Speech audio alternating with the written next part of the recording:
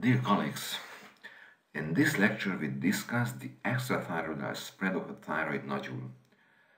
At the start of the lecture I raised the attention that this sign is challenging for experienced investigators and therefore could be even more problematic for a beginner.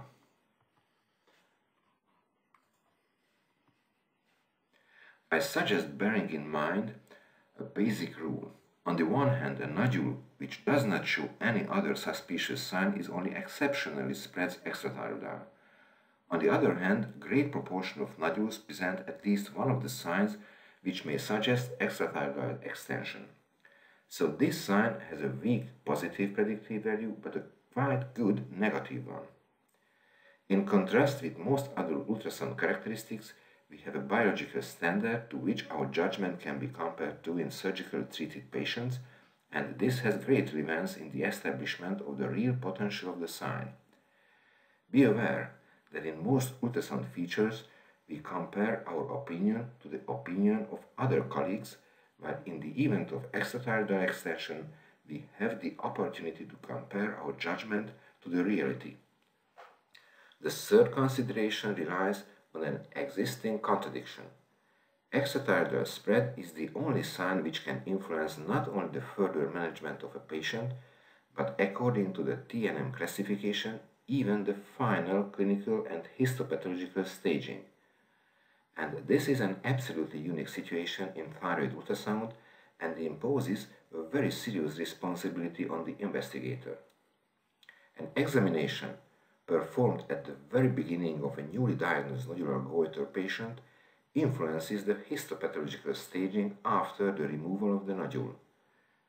In fact, ultrasound is not suitable for all of these tasks in most cases. The theme will be discussed in two parts. Here in the basic lecture we focus on definitions and on the interpretation of ultrasound features. Then I try to deal with an important distinction. There are two ways in which the extrathyroidal extension is discussed in the literature and guidelines, and it is often unclear what sense is ETA discussed. This sign can be used for predicting extrathyroidal spread, and similarly to other features, it can be used for predicting malignancy irrespectively of an existing extension beyond the anatomical borders of the thyroid. Finally, I only briefly mentioned the role of extrathyroidal spread in various classification systems and in the most frequent subtypes of thyroid cancer. So the topics. First, I talk about two definitions. The first relies on the extension of extrathyroidal growth of a tumor. These degrees are the very basis of the clinical staging of thyroid cancers. Minimal degree can be diagnosed only by microscopic analysis. In recognition of minimal degree of extrathyroidal extension, ultrasound has good performance. Unfortunately, this relatively good diagnostic power has little importance because the presence of minimal degree of ETE has a role neither in clinical staging nor in the prognosis. Gross extrathyroidal extension can be diagnosed either by preoperative radiology, ultrasound, MRI or CT scan, or by visual judgment of the tumor intraoperatively by the surgeon, or also by visual judgment of the specimen postoperatively by the histopathologist. If any three colleagues diagnose gross extrathyroid extension, then the existence of ETE should be treated as a fact. This cannot be overwritten by a microscopic analysis because the latter has no role in its determination. We will deal with this in detail during the advanced course, but it is worth being aware of the responsibilities of ultrasound examination and examiner at this point. This time I only mention that none of the radiological methods is able to perform this task to an acceptable level all have only 50% positive predictive value in predicting gross extrathyroidal extension. This situation is made particularly serious by the fact that unlike the minimal extrathyroidal extension, the gross extrathyroidal spread fundamentally determines the clinical stage and prognosis. What are the ultrasound signs of a possible extrathyroidal growth? Basically, we can examine two phenomena, the integrity of the thyroid capsule and the contour of the nodule. There are three possibilities regarding the capsule. It can be continuous, discontinuous or invisible. Three types of contours exist. The nodule can be covered by normal thyroid tissue. If not covered by thyroid tissue, then the contour can be abutting and or bulging. Perhaps the most important consideration relies on nodules which are covered by normal parenchyma. In such cases, the likelihood of extrathyroidal spread is practically zero. The possibility of extrathyroidal spread can be considered if the capsule is discontinuous or invisible and the contour is abutting or bulging. These are the C possible ultrasound signs of extrathyroidal extension. Let's see the first, the thyroid capsule. The capsule of a lobe is presented in the form of an echogenic line running ventral to the thyroid. Unfortunately, the thyroid does not have a real capsule, only a pseudocapsule.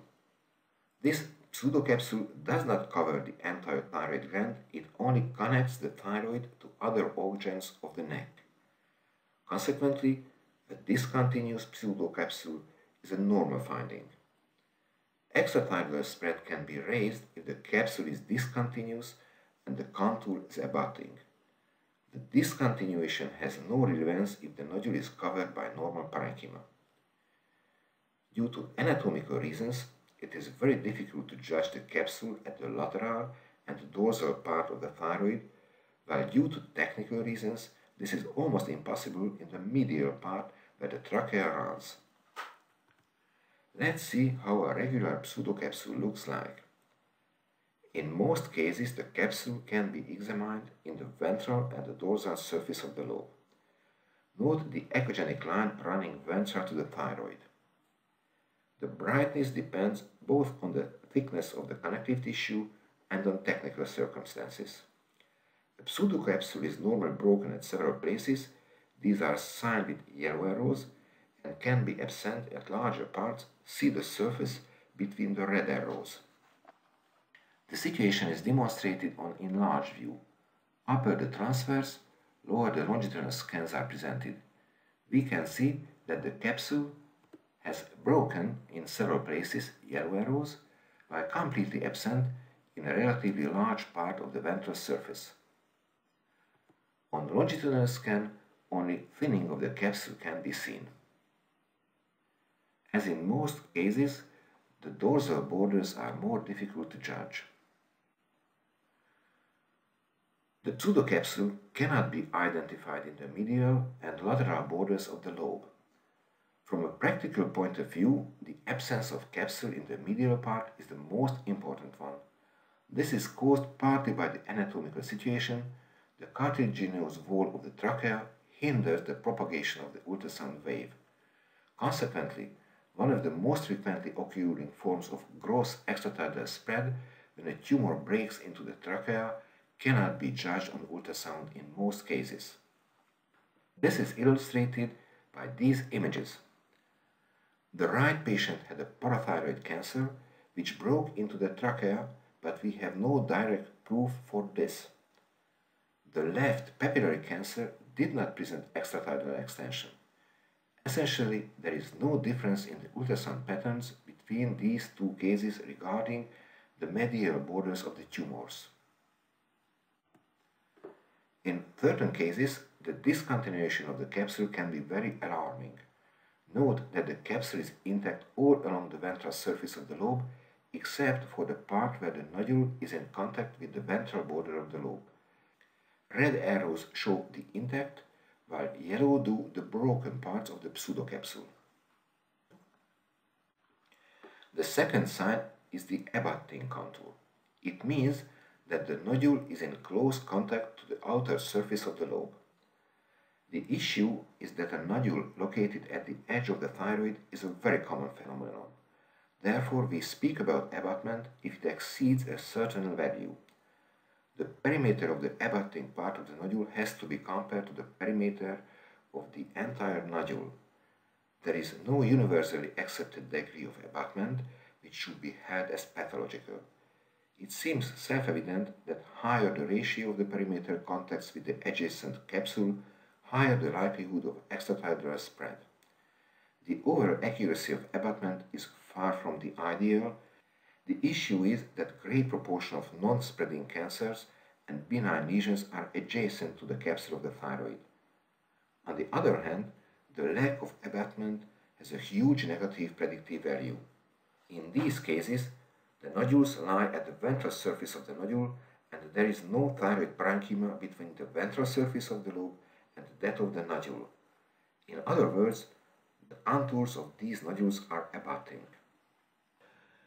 These images present how to calculate the extent of abutment.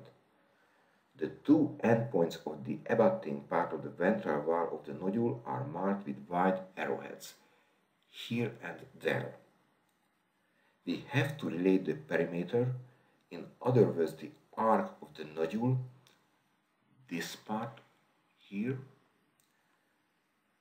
which is in contact with the nodule surface to the perimeter of the lesion. Perimeter is that one. There is another mode to calculate this ratio, to compare the diameters of the abutting part of the nodule with the largest parallel diameter of the lesion seems to be easier. So if we compare this distance with that distance. Following the rule of geometry, the half of this ratio corresponds to the ratio of perimeters. Taking the diameter instead of perimeter into account has an advantage in lesions which present abutment in oblique sections. This situation is presented in the right case. The abutting perimeter ratio is lower than 10% of this nodule. So this ratio, if we compare this arc to the arc of the entire nodule, but if we compare uh, the diameters, the distance between these arrows and these arrowheads, then the diameter quotient, quotient is between 25 and 50 percent, which can be considered as a positive finding. So the angle should be considered in such nodules. It means that parallel diameters should be measured. Bulging is a special form of abutment. Bulging contour means that the nodule protrudes into anatomical structures outside the thyroid. Naturally, this is a more serious sign. However, even benign nodules might present bulging. We present here two examples. Both papillary cancers presented bulging contours. The red arrows in the right case point to intact parts of the thyroid capsule, while yellow arrows due to the most protruding to the most bulging part of the tumor. This table summarizes the possible combinations of ultrasound presentations of capsule and contour with the related risk of extrathyroidal spread. We should consider the risk of extrathyroidal extension if the capsule is discontinuous and the nodule presents at least a abutting contour. If such nodule does not show bulging, then the risk of gross ETE is low, while if it bulges, then gross extension cannot be excluded. So there is a real risk of gross ETE if the nodule presents all three signs of a possible extrathyroidal growth. Both nodules present abutting and bulging contours. The yellow arrows here and there point to the most dorsal and the most ventral part of the non-nodular tissue, left and right cases respectively. Or in other words, yellow arrows show the point where the nodule starts protruding. The difference between the cases relies on the presentation of the capsule. In the left benign nodule, the capsule marked with red arrows is continuous, in the right malignant case, the capsule is discontinuous. In the next part of the lecture, we focus on the different meanings of extrathyroidal spread. The ETE is used in two different senses in the literature and guidelines. The first is when we suggest extrathyroidal spread, and the second is used in the context of suspicious characteristics when on the signs of ETE we suggest malignancy. Although it seems to be a bit confusing, but this distinction is indeed not meaningless. The three kinds of the North American TI-RADS include ultrasound signs of ETE among suspicious characteristics. It means that in these systems the TI-RADS score is influenced by these signs. There are two guidelines, these are the European and the Korean TI-RADS, which use extrathyroidal spread for prediction existing extrathyroidal spread, and these guidelines suggest FNA if the nodule is suspicious spreading extrathyroidal, irrespectively of the TI-RADS score. These classification systems, however, do not enlist ultrasound signs of extrathyroidal spread among suspicious characteristics. Regarding the first that is the prediction of extrathyroidal spread, the over accuracy of ultrasound is very far from ideal. We will deal with this problem in the advanced course. Here I only tell the conclusion of the literature data. The positive predictive value of ultrasound in judging the extrathyroidal spread is only 50%. The real value of judging the extrathyroidal spread is the more than 95% negative predictive value. In contrast with all other suspicious ultrasound characteristics, there are very limited data in the literature regarding the use of ETE predict malignancy. Indeed, only two papers deal with this. Yun and co-workers have found a similar diagnostic value of ETE signs as in other suspicious characteristics in the event of medullary cancer. The other is our recent work, this study demonstrated a lower sensitivity but a better specificity and positive predictive value of ultrasound signs of ETE in predicting thyroid cancer. I only mention that great proportion of the cases when the tumor spread extrathyroidal belonged to the minimal type of extrathyroidal growth. I move to the next topic the occurrence of extrathyroidal spread in the most frequent subtypes of thyroid cancer. This huge American database included more than 240,000 surgical treated patients. The occurrence of extrathyroidal spread was lower than in most papers published in the literature. This might be explained by the difference in skills of an average and of a highly experienced evaluation group. Nonetheless, the table demonstrates the real situation and it is suitable to compare the extrathyroidal spread in different subtypes of thyroid cancers. So, more than 10% of papillary and medullary thyroid cancers presented with extrathyroidal spread, while this figure was much lower in the event of follicular cancer. Regarding growth extension, papillary cancers account for 4% and medullary cancers for 5%. To summarize, the latest TNM classification assigns a role to preoperative radiology, including ultrasound, that it is unable to do for objective reasons.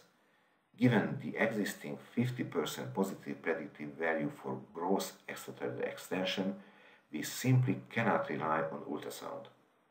Although ultrasound has a much better positive predictive value for detecting microscopic form of extrathyroidal extension, but this form does no more influence the clinical staging. Indeed, the real role of ultrasound is the exclusion of extrathyroidal spread. The three possible signs of ETA are used not only for diagnosing ETE, but similarly to other suspicious characteristics, also to predict thyroid cancer. In this field, again, not the diagnosis, but the exclusion is what for these signs are very useful. Considering these facts and data, two consequences can be drawn from these. First, if a nodule is suspicious spreading extrathyroidal, FNA is mandatory. Second, considering the low positive predictive value, very careful wording is very important in ultrasound reports. Finally, I enlist in this table the used literature data. Thank you very much for your attention.